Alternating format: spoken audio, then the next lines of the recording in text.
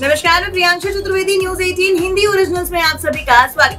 Suspense thriller और drama से भरपूर टेलीविज़न का रियलिटी शो बिग बॉस एक बार फिर से ओटीटी पर तहलका मचाने के लिए तैयार। जब से शो की अनाउंसमेंट हुई, बस तब से ही फैंस का एक्साइटमेंट लेवल चौगुना बढ़ गया।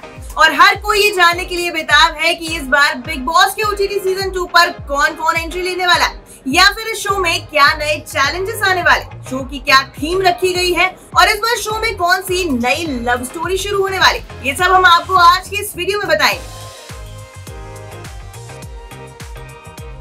बिग बॉस का नाम आते ही सलमान खान की याद ऑटोमेटिकली आ जाती। लेकिन इस साल सलमान खान ओटीटी वाले बिग बॉस से ओटीटी पर एंट्री करने वाले। बता दें शो के पहले सीज़न को करण जौहर ने होस्ट किया था। इस शो में बहुत कुछ खास होने वाला। शो को सफल बनाने के लिए मेकर्स हर वो मुमकिन कोशिश कर रहे हैं, जिससे कि शो को पिछले सीज़न के मुकाबले और भी ज़्यादा व्यूवर परफेक्ट बनाया जा सके। एंटरटेनमेंट इंडस्ट्री के कई बड़े चेहरों को इस शो में शामिल किया जाएगा। मीडिया रिपोर्ट के अनुसार सेवन में नज़र आ चुकी Palak Purswani Bigg Boss OTT two में नज़र आ सकती है। उनका नाम कंफर्म हो चुका इसके अलावा बिग बॉस ओटीटी टू के लिए बॉलीवुड एक्टर सूरज पंचौली और इंडियन आइडल वन के विनर अभिजीत सावंत को भी बिग बॉस की टीम द्वारा संपर्क किया गया बता दें, जिया खान केस में सीबीआई कोर्ट ने तकरीबन 10 साल बाद हाल ही में अपना फैसला सुनाया था, जिसमें सूरज पंचोली को बरी कर दिया गया। जिसके बाद सूरज पंचोली ने दिए गए एक इंटरव्यू में फैंस को अपनी आप बीती सुनाते हुए ये बताया था कि इस केस के कारण उनका करियर किस तरह तबाह हो गया।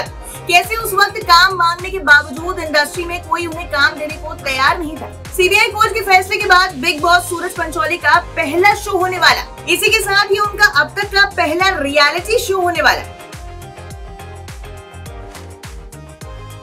वही बात करें अभिजीत सावंत की तो इस शो से पहले वो singing reality show Indian Idol में नज़र आए थे। इस शो के वो विनर भी रह चुके हैं। इसके अलावा साल 2008 में अभिजीत और उनकी पत्नी शिल्पा नच बलिए सीज़न फोर में भी नज़र आए थे।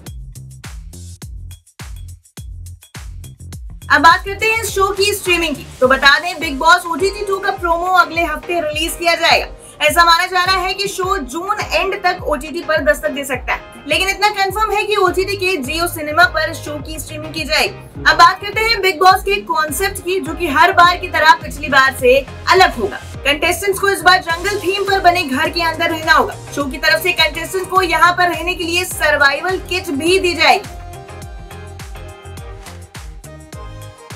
बिग बॉस हाउस में जो भी कंटेस्टेंट दिए गए टास्क को सर्वाइवल किट में मौजूद सामान के साथ पूरा कर पाएँगे, उनकी एंट्री मेन हाउस में की जाएगी। इसके साथ ही वो कैप्टेंसी के दावेदार भी हो पाएँगे और उन्हें वीआईपी रूम का एक्सेस भी मिल पाए। आपको कैसी लगी हमारी ये खबर हमें कमेंट सेक्शन में ज़रूर बताएँ। ऐसी ही और खबरों के लिए देखते रहे न्यूज़ एटीन हिंदी ओरिजिनल्स